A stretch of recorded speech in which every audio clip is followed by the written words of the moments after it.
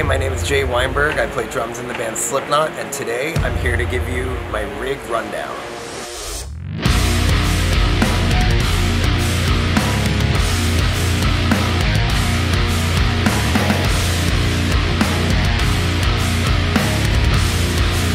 Today I'm here to give you guys a little bit of a rig rundown of uh, the kit that we're using on our 2022 North American Knotfest Roadshow. Uh, so this is a brand new drum set from SJC Custom Drums. I'm so thrilled with it. I'm gonna walk you through what we got going on. First to go over the dimensions of what we got going on. This is a 22 by 14 inch kick drum. Both of them are. I liked them. To, I like them a little bit shallower. It was something that I started experimenting with a couple years ago. Um, basically, Mike from SJC and I were talking like, what would it be like to create a drum set like if Ringo Starr was playing drums for Slipknot? That's kind of the the jumping off point we had. And part of it was the shallower kick drums. Not only do they look rad, but I think sonically it's interesting when you have all that, you know, that compressed air in this, you know, shallower of a drum. It's a little bit easier to manipulate out front. It's a little bit easier to manipulate in my ears. Uh, the way you can really control the low and the high end and have a really nice blend where it's, you know, we don't want it to be overly boomy just because of how fast and intense our music is. Um, it's nice to have that little bit of a shallower depth, which is awesome. Um, moving to the toms, we have a, let me check the dimensions a 7 by 10 an 8 by 12 and an 8 by 13 maple shell.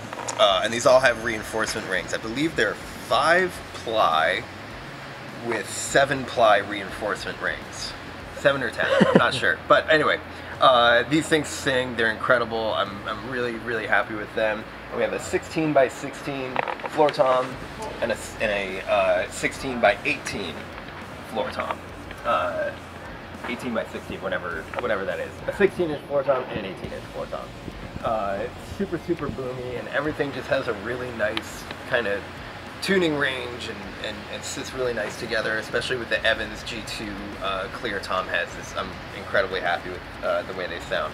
And uh, something that we started experimenting with a couple years ago, we started miking my drums from the inside, um, which allows not only a little bit more mobility on the cymbals where I don't have to worry about this cymbal smashing onto a microphone here or really just working, you know, not only physically bashing it, but um, but getting cymbal bleed in uh, in those mics. So what we're able to do is mic everything internally and externally here, so we get a good blend there. Just because there's not much cymbal stuff happening here, but uh, this allows us to get a really clean, defined, bombastic tone out of the toms without worrying about cymbal bleed and stuff like that. So they can really have a field day with it in front of house and not worrying about like too many shrill, um, you know, noises from from cymbals and stuff. When you're really trying to mix this tom, you have this cymbal so close to it, they can kind of blend into each other. So having that separation of miking things internally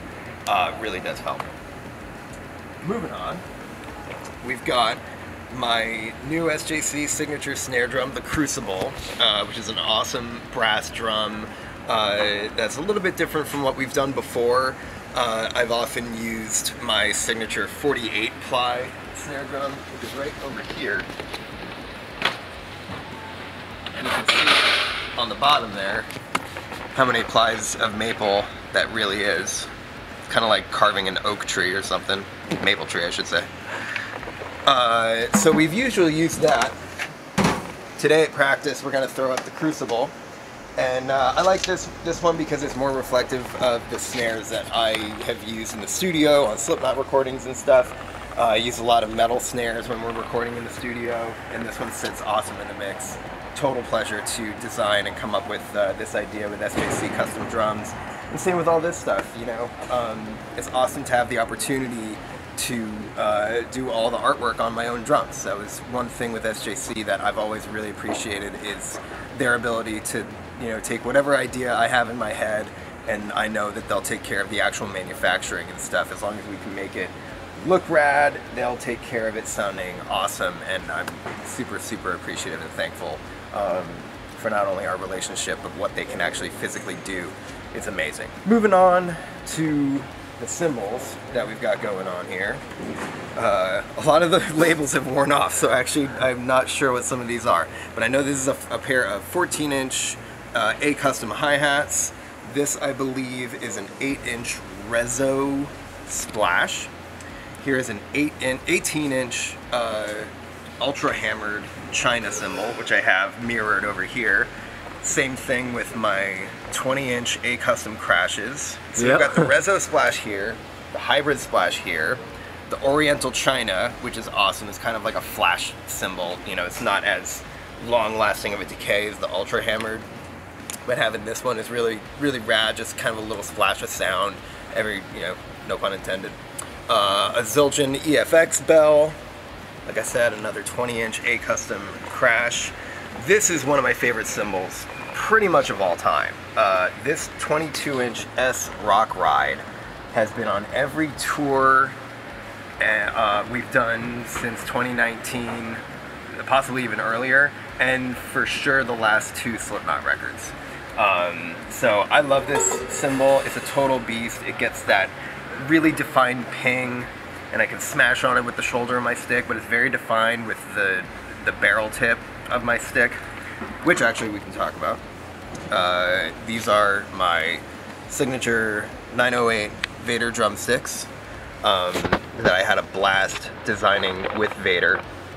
Um, we chose this stick, you know, we went through a bunch of different, you know, lengths and tapers and stuff, and this is exactly what feels like home in my hand. Um, it's a relatively quick taper and a, a, barrel tip with a little bit more length than you might be used to of like a 5B or something like that.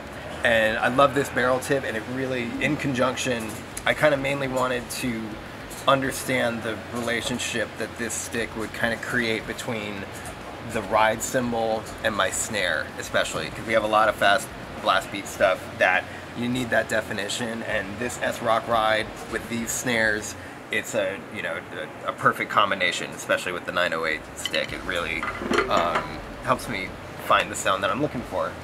We've got a pair of 13 inch A custom hi-hats and a 22 inch Crash of Doom. Um, very very doomy big open downbeats I often love to karate chop it all the way over here. Um, this kit has all DW pedals and hardware, a giant rack system as you can see, DW9000 uh, single pedals and a DW9000 hi-hat. What else we got here? Vater drink holders for getting thirsty. Uh, Vater stick cups for when a stick might go flying out of my hand. I'm covered over here if I'm over here. Or if I'm playing over here, I can grab one from over here. What else we got? Tons of GoPros that will be mounted throughout the performance. Always making some clips from our shows and uh, and oftentimes it helps me kind of remove myself from you know the intensity of what we're doing. I can study that as a way you know any kind of person would film themselves playing basketball or hockey or something like that. And you get to learn about how you're playing the instrument, how you're playing the show. And, what you want to do differently and stuff like that. So it's often really fun to film our stuff with GoPros, and um, that's about it. This is my rig. This has been my rig rundown. I hope you enjoyed, and I hope we'll see you on tour sometime soon.